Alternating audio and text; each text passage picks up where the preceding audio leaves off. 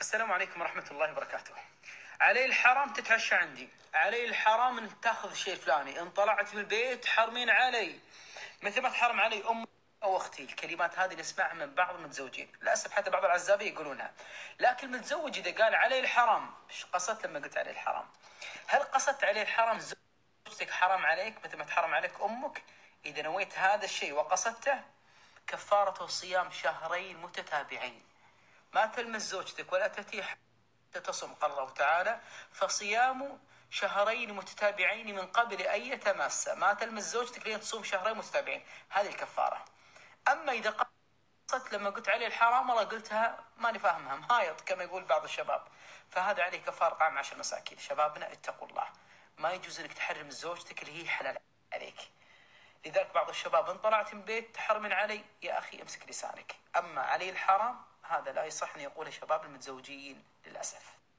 وللأسف النوعية هذه من الأعراب مو البدو ما أتكلم عن البدو أتكلم عن أعراب هؤلاء. إذا ما طلقت وما حرمت عزيمته باردة أو إنه ما هو جاب عزيمه أو إنه ردي أو إنه شوف ما تسوى عليك. أنت الحين معشيهم مطلق مرتك ومحرمها عليك وذاب عليك خروف وخسائر راح عليك نص المعاش ومع ذلك أنت ردي وما فيك خير وكذا. جال دينك آخر الليل ما تسوى عليك.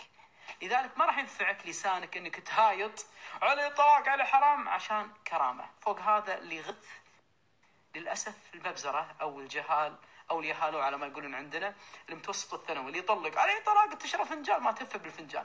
ليش ما عندك. جاي تطلق وتحرم. تعود على إيش؟ سوالف الأعراب المتخلفين. البداوة غير. البداوه أصول إنك تحترم بنت. الناس اللي أعطوك إياها اما طلق لي بنت حسن هذه لا والله ما أطلقها. اتق الله وامسك عليك لسانك وامسك عليك زوجك وبلاش سوالف إعراب. على ما يقولون يوزع سوالف هذه ها؟ كبرنا. خلاصة الكلام إذا قال الرجل علي الحرام علي الطلاق تحرمين علي نوى فيه طلاقا يعد طلاق. وإذا نوى فيه حرام تحريم يعني ظهار فزوجته حرام عليه تحرم عليه لين يصوم يتأدب ها؟ شهرين متتابعين. من قبل أي تماس. طيب أطعم ستين مسكين لو أطعمت أهل أفريقيا كلهم. وتقدر تصوم بينك وبين ربك. لازم تصوم. خل لسانك ينفعك. لذلك احفظ لسانك واعقد النية انك انت خلاص ما عاد تتكلم بالطلاق تطلق مرتك العفيفة الطاهرة الشريفة وقاعد مع ربعك بدوني ومخيم ومصطبل وتحرم عليه طلقة المسكينة ما تدري قاعدة وأيمان طلاق تجيه وهي قاعدة مع بناتها ومع عيالها. يا أخي طلاق الله تعالى جعله بيدك أنت يا رجل لما تكون رجل قد المسؤولية. أما هذه ما هي رجولة للأسف ولا هو كرم. تسمي كرم ما هو كرم الله. الكرم إنك تكرم يمينك وتكرم بنت الناس ولا تطلقها بل جاء في الحديث قال عليه الصلاة والسلام أيلعب بكتاب الله وأنا بين يديكم أحفظ لسانك. البعض يقول أنت قاعد تتكلم عن البدو. صح لا ما أتكلم عن البدو. أنا بدوي وقبيلي وأعرف العادات والتقاليد وأعرف الأصول وهذه ما هي من البداوه هذه من التخلف.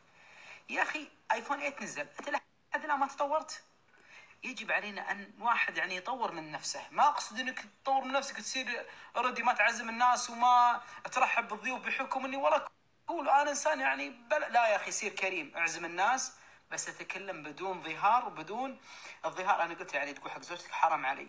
هذا اسمه ظهار لازم تعرف اسمه. أو طلاق. لازم تكرم الناس تكون وسط. أما إنك ما تعزم أو إنك تطلق لا. أنزلت سوره تسمي بسوره المجادلة أو المجادلة. كل الاسمين صحيح.